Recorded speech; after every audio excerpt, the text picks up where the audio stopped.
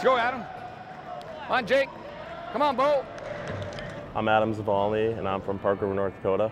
I'm Bo Belquist, and I'm from New Rockford, North Dakota.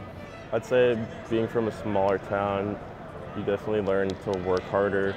Um, you know, you may not have the opportunities that some other kids have had if they were from like a bigger school.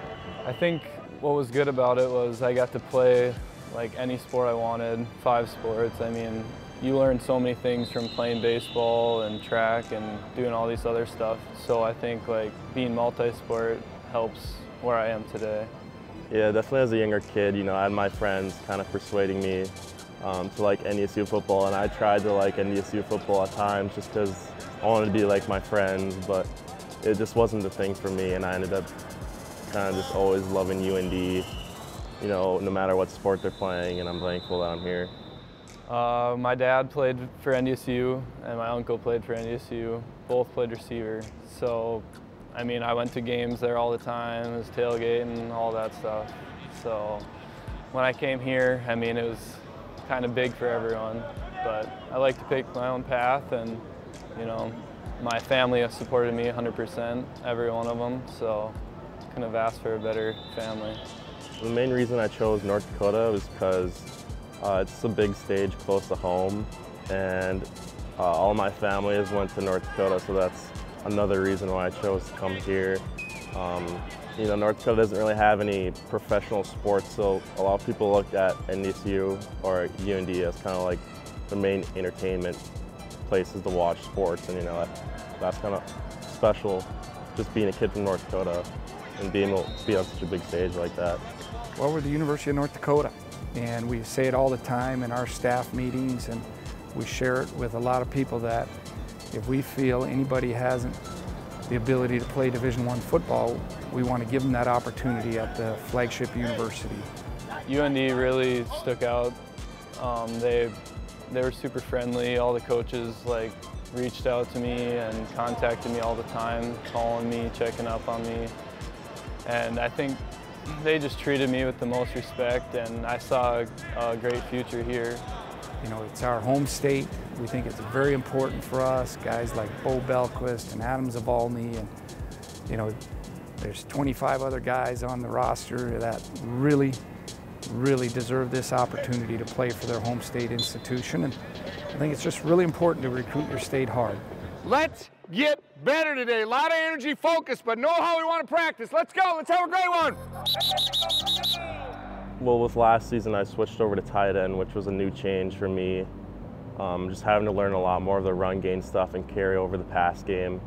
Um, and just making myself very coachable. I think that's helped with a lot of my success and just having the, the right mindset with everything. I think the pretty much studying the playbook and learning the playbook right away is the most important thing. Um, after that, it's kind of just going out and playing. I mean, if the ball's thrown your way, you just got to try to make a play on it. And um, effort, you got to be working hard all the time in practice and showing the coaches you want it.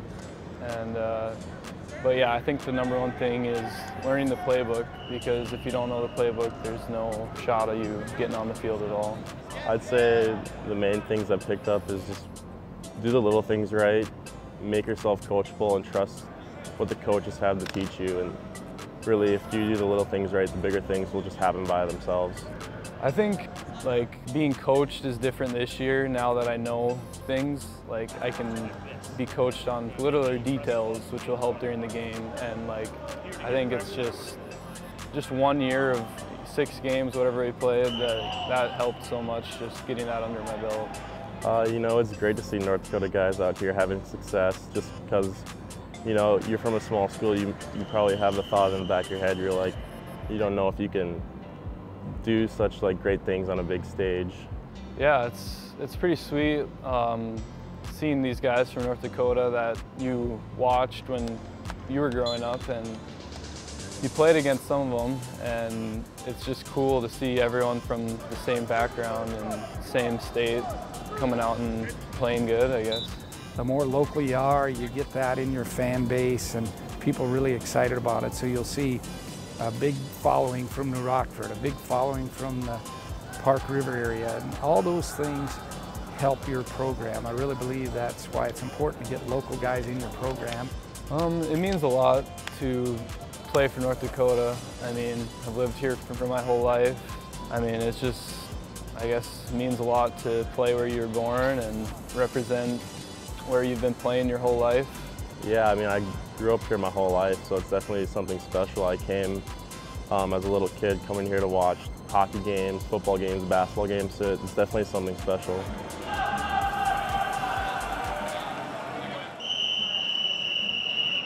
Yeah, the open week is, uh, I think, critical to develop the right mindset heading into conference play. It's a mindset heading into the Valley and understanding the, the type of teams that we're going to play. Going into conference play, it's, it's good. You, you're trying to get everyone back and healthy and all those little nicks and aches and things like that. Hopefully those are good to go. You know, I mean, there's, there's a lot of nagging injuries. It's about, you know, kind of just, you know, nursing those and also just preparing. You know, this is, this is not a week we're just taking off. You know, we're still practicing at a high level. You can refocus your mind, uh, get your body right if it's a little banged up during the season. So getting an open week just allows you to just kind of reset and refocus.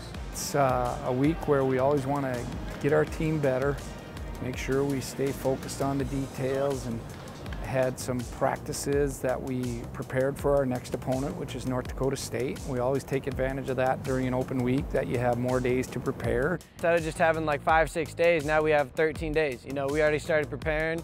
You know, we have to get after it in the weight room, get stronger, faster, kind of maintain our strength. You know, the extra practices really help to prepare, maybe throw in some new wrinkles that you haven't put on film. I think that's, that's something that you always, if you have extra time to prepare, that always helps that way as far as your game planning.